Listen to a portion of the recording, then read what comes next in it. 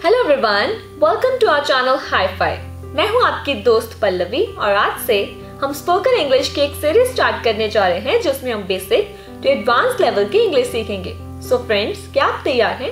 Let's get started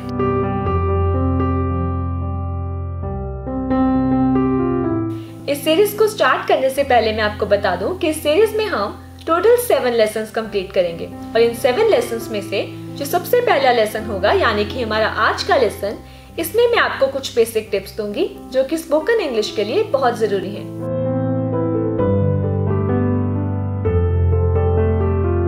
आप सभी ने सुना होगा इंग्लिश बोलने के लिए इंग्लिश का आना ज़रूरी नहीं होता। इंग्लिश स्पीकिंग की जो फ़र्स्ट रिक्वायरमेंट है, वो है कॉन्फिडेंस क्या आपने कभी देखा कुछ लोग इंग्लिश राइटिंग में बहुत अच्छे होते हैं, लेकिन जब उनसे इंग्लिश बोलने को कह दो तो वो चुप हो जाते हैं। साइलेंट हो जाते हैं। वो कुछ नहीं बोल पाते। क्यों? क्योंकि वो कॉन्फिडेंट नहीं होते। सो स्पीकिंग स्किल्स इंप्रूव करने के लिए मेरी फ़र्स्ट स्टेप है be confident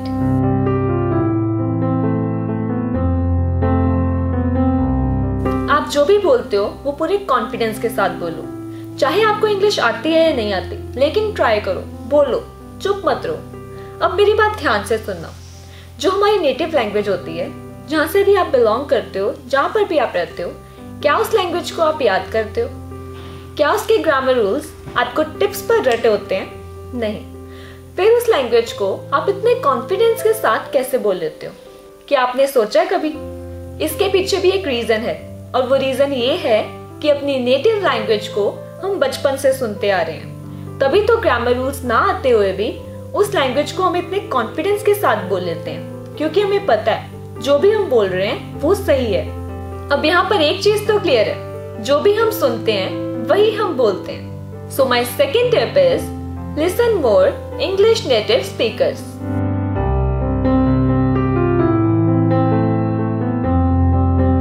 Once you have listened their language, try to understand it and then finally speak out.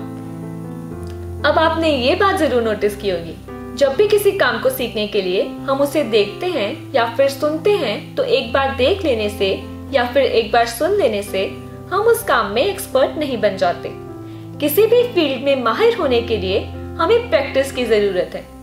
जब तक किसी भी काम को हम खुद से नहीं कर लेते, तब तक उस काम में हम एक्सपर्ट नहीं बनते। सिमिलरली इंग्लिश में भी कुछ ऐसा ही है। जब तक आप खुद इंग्लिश नहीं बोलोगे, तब तक आपको इंग्लिश नहीं आएगी। फिर चाहे आप कितने भी लेसन क्यों ना सुन लो, कितने भी लेसन क्यों ना देख लो, आपको कोई बेनिफिट नहीं होगा। So my third tip is very important and that is speak out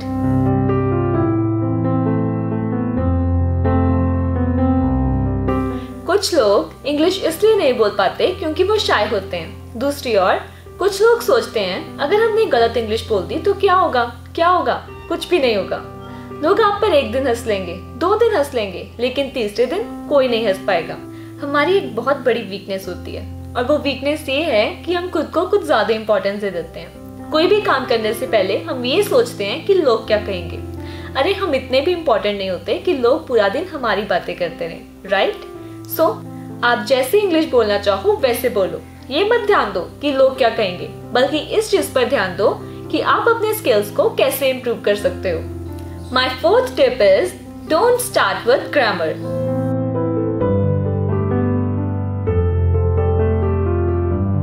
कभी भी ग्रामर के साथ स्टार्टिंग मत करो।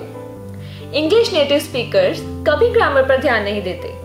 हंड्रेड में से सिर्फ़ और सिर्फ़ ट्वेंटी परसेंट लोग ऐसे होते हैं जिनको ग्रामर आती होती है। अदरवाइज़ ग्रामर को कोई नहीं देखता। So never start with grammar my fifth and last tip is make English learning your habit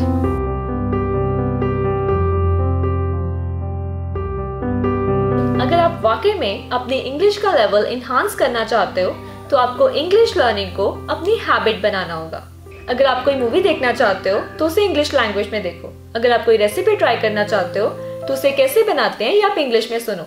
इसी तरह आप इंग्लिश न्यूज़ पढ़ो इंग्लिश म्यूज़िक सुनो इंग्लिश को अपनी डेली लाइफ में यूज़ करो और इसे अपनी हैबिट बनाओ। तो ये था हमारी स्पोकन इंग्लिश सीरीज़ का lesson number one I hope guys आपने इसे एंजॉय किया होगा और इससे कुछ सीखा होगा।